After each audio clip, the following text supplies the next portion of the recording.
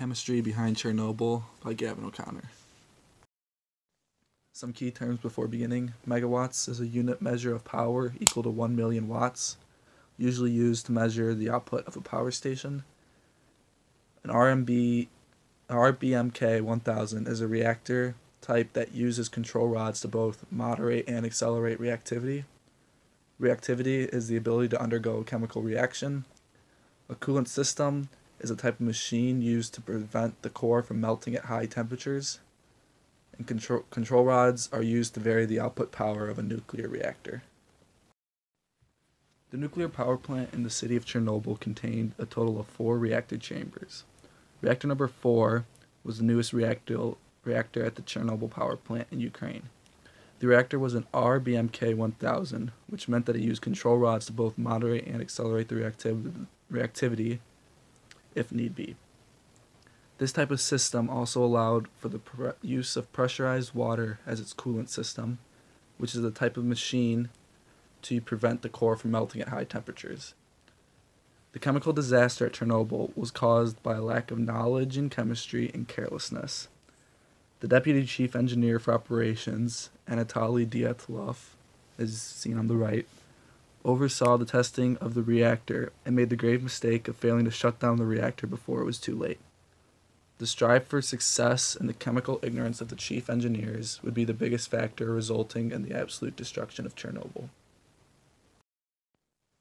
Here on the left, we see the control rods in reactor number four, and on the right, we see the coolant pumps that were used in reactor number four. In 1986, reactor number 4 would be tested to see how it performed under a power outage. On April 25, 1986, at 11:55 p.m., several, several of the engineers threatened to leave the power plant as they were already hours behind schedule. It began to appear that the testing would not happen, especially since the representative from the Nuclear Safety Pow- Department never arrived to oversee it. However, if the test was not completed that night, the same opportunity would not arrive until the next year. Despite the dangerous and unfavorable conditions, Dyatlov approved the testing of Reactor 4 and threatened workers with job termination if the testing did not happen. On April 26, 1986, at 12:30 a.m., the preparation for testing was near completion.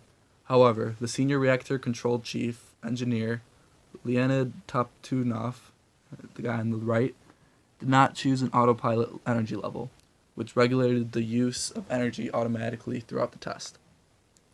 Once testing began, the autopilot began to bring the energy towards 0 megawatts, which is a unit to measure energy. However, the program specified that the test should not be undertaken below 700 megawatts. No reactivity remained within the reactor number 4, but it was not shut down. The Dyatlov refused to stop the test. In order to raise the power to continue the test, Dyatlov ordered more control rods to be taken out of the core of the reactor, leaving it even more unstable. While Toptunov at first would not allow the removal of the control rods to increase the energy, he was once again threatened with unemployment and he submitted to Dyatlov's orders. He and another engineer went and removed 203 out of 211 control rods from the core. The energy within the reactor was able to be brought up back to 200 megawatts. After the increase in energy, the coolant pumps, which were machines used to pump water into the system to keep the core from overheating, were brought back online and were pumping near maximum power. Since these pumps were pumping at maximum power, it did not allow water into the core, as the pumps continued to pump too fast and would turn the water into steam. However, everything seemed to be going well from the control room to the engineers, but more boiling water continued to enter the core. As the test concluded, the removed control rods were placed back into the core at the same time. When all were placed back in at the same time, a tremendous power surge occurred. This was because the tips of the control rods were made out of graphite, the reactivity accelerator. The reactor increased to over 33,000 megawatts, and it was only designed to work at no more than 3,200 megawatts. The steam allowed for radioactive decay, which is when the water's nucleus began to gain too many electron- neutrons, and the nucleus itself would fall apart, releasing a lot of energy. This cycle would continue in the core without the engineers noticing, and energy was continuously being released into the core, increasing heat and increasing reactivity. The heat in the core reached the fuel of the reactor and continued to grow hotter and hotter, creating more steam, and began to set fire to the graphite within the core. The 180 pound control rods began to bounce up and down with ease, and the coolant system began to fail. The lack of water coolant and the continuous rise in temperature resulted in all the remaining water in the system to be turned into steam. This would rupture the fuel rod channels, locking the control rods into place, with the graphite tips being in contact, continuously accelerating the reactivity of the reactor.